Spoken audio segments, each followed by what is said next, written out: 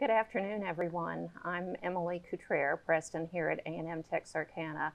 I hope uh, you're ready to join us with, with your questions.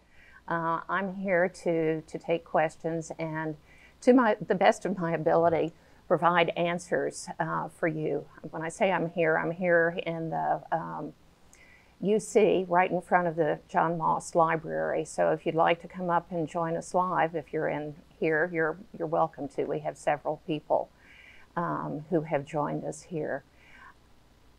To ask questions, um, we, we invited, I'd like to say we invited, we may have forced uh, one of our students, uh, Tim Frith here. Um, he has some of the questions that you sent in early that he is going to ask me. And then as, as you send in questions, we'll get them relayed to him so he can ask them. Now, Tim I think you ought to know is a senior here at A&M Texarkana and has certainly been very much affected by the, the COVID-19 virus. Um, fortunately, he was already taking classes online, so next week won't affect him in that way. But he is a senior baseball player, and his senior season um, has been canceled because of the COVID-19 virus. So I think, it, you know, he really is a good person to be asking asking the question. So I'll turn it over to Tim to, to go with her first one. Okay. How long will we be doing online classes? That's the question everybody wants to have the answer to. Um, and as I might tell you, this might be the answer for, answer for a lot of the questions. The most truthful and honest answer is I don't know. Uh, we have face to face classes canceled for the week after spring break, which is next week, and that's the 23rd through the 27th. Uh, we are constantly evaluating, and if it has to go longer than that, we will let you know as soon as possible. In the letter we sent out, we said we try and let people know the, the Thursday, um, every week on a Thursday. Uh, if we know sooner than that, we will certainly let you know sooner than that. But right now, classes have been canceled only for the week after spring break. And when that changes, if that changes, we'll let you know as soon as possible. Number two, what if the outbreak gets really serious? Will the kids continue online classes? Well, yes. Um, as the, if the outbreak spreads even more than it has now, and we are instructed uh, by the state, by the city, by the system or the country uh, to suspend classes for longer, that's exactly what we'll do. Or if it's in our best judgment to suspend classes longer, that's what we'll do. What do seniors do about the grad fair? Okay, the grad fair, for those of you who don't know, the grad fair, uh, usually in the lobby of the UC, we have all kinds of booths set up for invitations and for caps and gowns, uh, for rings, and to join the Alumni Association. Uh, it's a fun day, and um, unfortunately, if we are not in school at the time, we'll have to go online with that. But um, won't be the end of the world. I know the people who would put it online uh, will make it fun for you, and just about everything you have to order has to be ordered online. So invitations, cap and gown, and rings can all be ordered online. What should seniors do about the career fair? Career fair. Um, Hopefully, we'll be back in school, but if we're not, uh, I know that the director of the Career Services um, or the what, Career Development Office um, is working on finding a way to put that online and make it make it interesting and fun and engaging as well. Lastly, what should seniors do about commencement? Commencement. We will have commencement. Right now, commencement is scheduled for May 15th if we have to move it, we will, but we will have commencement. That's something we all look forward to. It's the best day of the year. And I hope we can have it on schedule, but if we can't, we'll have it. What do students do if they don't have access to a computer or internet? We know that that might be the case uh, for some of our students, and uh, we have people on campus who are looking into ways to, to make that situation better. So if you are in that situation where you don't have a computer and or you don't have the internet, what we need you to do is send that information to our COVID 19 email. Uh, it was in a letter that was sent out to you. I think they're putting it up on the screen now. And the email is COVID 19 update, all one word, all lowercase, um, at tamut.edu. And actually, you can use that for any of your questions. But if you don't have a computer, you don't have access to the internet, please be sure to use it. And on a case by case basis, we'll figure out what we need to do um, to help you because we don't want you left out because of this. Will the students be provide? Will the university be providing the students any reimbursements for the remainder of the semester? We don't know the answer uh, to that yet on reimbursements. Uh, this has all happened very quickly. We don't know how long um, this will go on, but when we do know more, we'll be sure to let you know. If we do return to campus, will there be mandatory testing?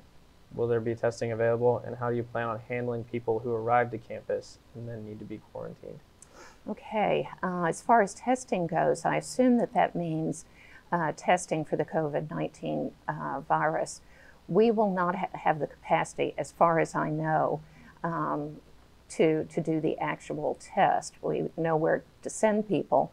Uh, we may make um, available thermometers for the students to test themselves, as people do when they're um, coming in on a plane, where they can test their temperature, but not for the virus. Uh, being able to test for the temperature is a good idea. Or when you come back to campus, you might want to bring a thermometer with you so you can test your own. As far as quarantine goes, if, if it comes to that, uh, we're prepared. We have a couple of rooms set aside that are always clean and ready to go should we need to put anyone in quarantine. What about the biology labs for science majors? Biology labs for science majors. Uh, we have a wonderfully creative group of biology faculty. I should say we have a wonderfully creative group of faculty, period. But our biology faculty have been working on this since COVID 19 first appeared, and they're, they're all prepared to put their biology labs online.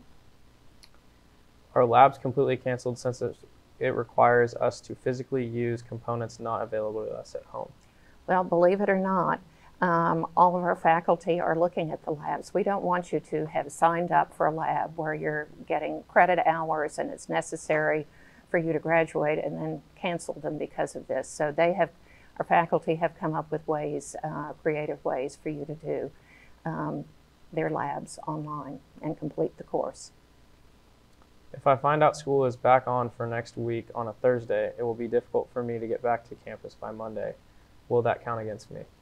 It, it will not count against you. Um, you'll need to talk with your faculty and let them know why you can't get back. But as I said a little bit earlier, um, we definitely will want to let you know as soon as possible. And that question's a really good one for me to hear um, because we do need to take into account that for some people it would be hard to get back on a Monday if we don't tell them until Thursday. So we will let you know as soon as possible um, if classes are going to be suspended for another week or so. Will the Eagle Pantry be open? The Eagle Pantry, yes, it will be open tomorrow Wednesday. Um, it's going to be open from 9 to 1, and then it will be open on an individual basis. Um, I know the, the folks in student life who run the food pantry um, have an email address. Um, you can write to them, and they will make sure that, um, that you are um, able to, to access the pantry. And the email address is eaglepantry at tamut.edu. Again, Eagle Pantry, one word, lowercase. Will the experimental learning showcase go on as planned? Uh, the experimental or ex- I think is it experimental experiential? Experiential. Okay, good. Uh, that the learning showcase um, will definitely go on as long as the campus is open. If the campus isn't open, it will have to be postponed. How will it affect education majors with student teaching and observation hours? My understanding about um, student teaching and observation hours is that your faculty in that area are working with the Texas Education Agency as well as with the schools to see that your what you need for your um, certificate is taken your and degree that that's taken care of. Actually, hold on for a second. I've got an expert in the room who knows for sure. Um, Dean Dowdy. Uh, yeah, in the state of uh, disaster, which we're in, Uh huh. uh, the Texas Education Agency has a provision that allows us to extend the uh, clinical period by 90 days and to decrease uh, percentage of time that a student needs to, the student teach. So uh, within a certain time frame, we'll be just fine. Okay. Under those provisions. Um, you may not have been able to hear uh, Dean Dowdy, who's the Dean of the College of Arts and Sciences and Education. Uh, but the bottom line is that they have, um, have worked and uh, worked really hard and looked up the rules, and you will be able to do what you need to do. He says, okay. It's, it's a little bit more legalistic than what I just said, but it will be okay. Will student workers still get paid? uh, student workers will be paid. And will final exams continue to be online? Question was about uh, would final exams be online? Um, honest answer is I don't know. Uh, it depends upon whether or not we are back at campus. If we're not back on campus, um, then they most certainly will be online. If the school reopens, will students go back to the same dorm room? If the school reopens, um, if we're ready to go, students who live in BLV, uh, where that's home, will definitely go back to their same rooms.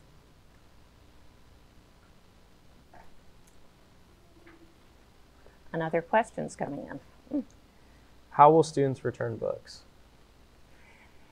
Students, I assume that means to the library um, to return books. Oh, rented textbooks. You know, that I don't know the answer to, but that's why I have a piece of paper and a pen because that's something we'll look into and we'll get up on our COVID 19 webpage. If uh, you haven't seen it, uh, I think there's a slide that's going to come across which will show you the, the web address for our COVID 19 webpage. Um, that's where we'll, we'll put all the latest updates. And that's a really good question that we'll be sure to get up on that webpage. So thank you, whoever sent that in. Any more questions, John?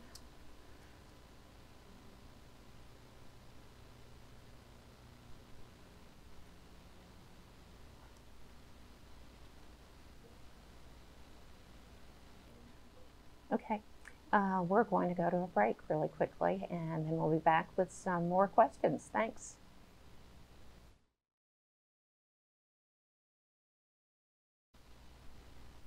Welcome back. Um, it's Emily Cutrer and Tim Frith again for questions and answers about uh, A&M Texarkana's response to the COVID-19 pandemic. Uh, while we were away, we got a few more questions, so I'm going to turn to Tim again and see what we have for you. First of the new questions Should students attend their internships if their agency is still active? On the internship um, question, and I know a lot of people have questions about their internships. The good thing, as far as I'm concerned, is that we have a lot of students doing internships. The difficult thing is that there are a lot of, of various answers. So, what you need to do if you have an internship is get in touch with your supervising professor. Um, your professor will know how to answer you for your particular situation and uh, your special case. So, as soon as possible, if you have not yet heard from your professor about your internship, get in touch with them. Will there be fines for late library books? No fines for late library books. I don't know if the library heard me say that or not, but there are no fines for library books. Can students receive packages? Uh, receiving packages. Yes, students can receive packages. Uh, it's one of the things we've been working on a lot for the last few days is how mail-in packages will, will get to students in the university. So um, we will be receiving packages um, and students who are in the residence hall will receive a message uh, that they have a package to pick up. Will admissions and transfer applications be processed as normal?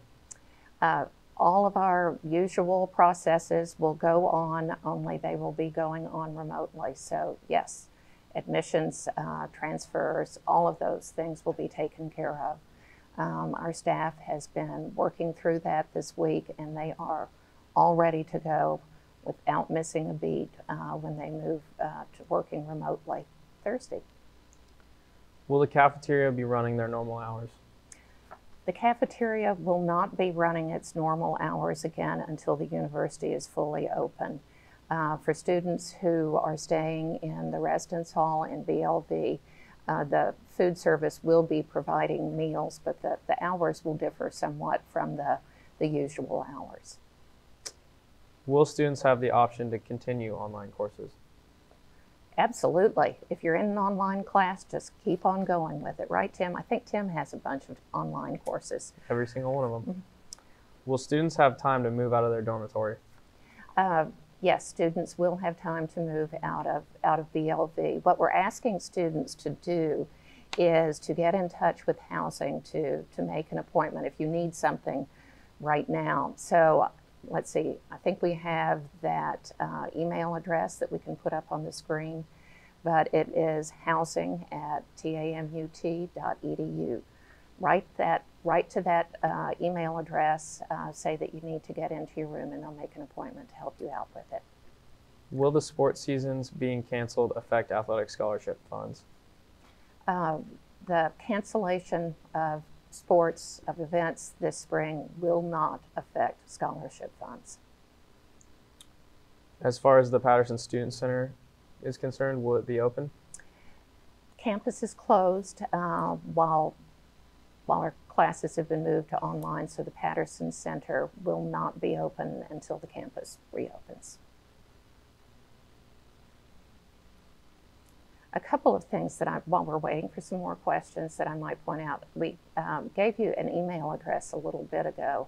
Uh, we had, I think, up there, uh, COVID 19 update at tamut.edu. Please use that um, email address to send in questions that you think of, you know, later on tonight, tomorrow, in a few days, if something comes up we're routing those remarks and those questions to the most appropriate people so that we can get get answers for you. But don't hesitate. This isn't the only time that you can you can ask questions. There's certainly other times that you can. What is the plan for the big event? Uh, the plan for the big event is to hope that the COVID 19 virus goes away and we can have uh, the big event. It is really an important uh, event here on campus, so if we can have it, we will have it. Uh, it just depends upon how long um, the issues with the virus continue. What if this continues into the summer or fall? Let's all pray it doesn't continue into the summer and fall, but but if it does, then we will be uh, working very hard to deliver the same quality of education and have the same kind of student support um, that that we traditionally have um, we'll move into online courses and talk about what kinds of campus facilities will be available. But let's hope that we don't get to that. How will this affect new student orientation? It shouldn't affect new student orientation um, if we're able to get back to normal in the summer. Uh, right now, we've got them uh, filling up, um, actually, as I speak. Um, if, so, if you're thinking about coming to new student orientation, please go ahead and sign up because uh, we're, we're planning on running them unless we receive word otherwise. Something else that I might add while we're, while we're waiting for a few more questions, um, we will be taking these questions and using them really as the, the backbone uh, for uh, an FAQ page that we will have available on the, on the website. Um, so thank you. You're helping others by sending in questions because I'm sure if you have a question, others have have the same one. And you can, if you forget what the answer is, or if the answer changes, then uh, it will be available to you on the COVID 19 website.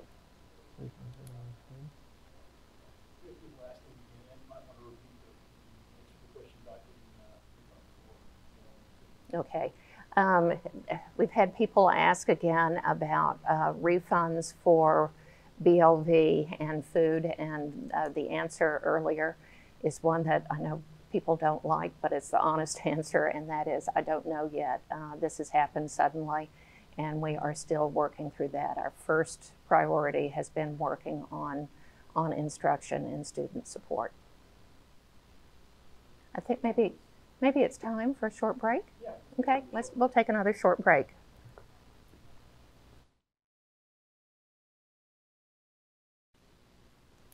Welcome back. Uh, this again is A&M Texarkana.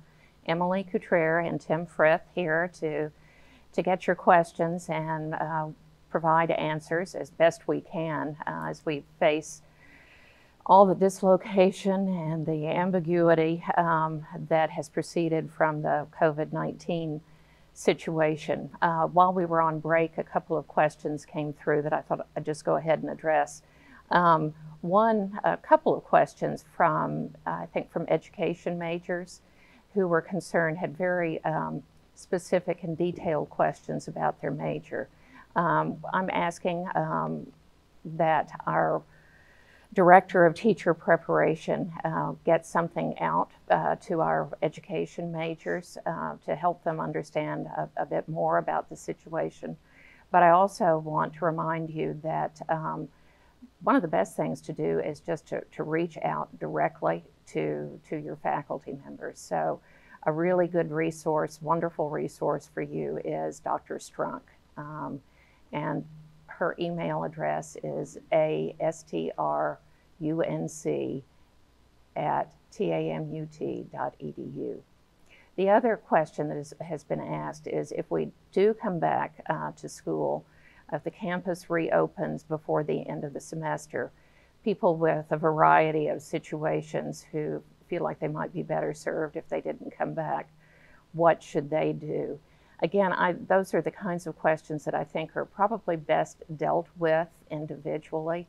Um, and I would urge, if you have a question about that, that you contact uh, your dean. If you're in the College of Arts, Sciences, and Education, that would be Dr. Dell Dowdy. And if you're in the College of Business, um, Education, and Technology, that would be Dr. Gary Stading.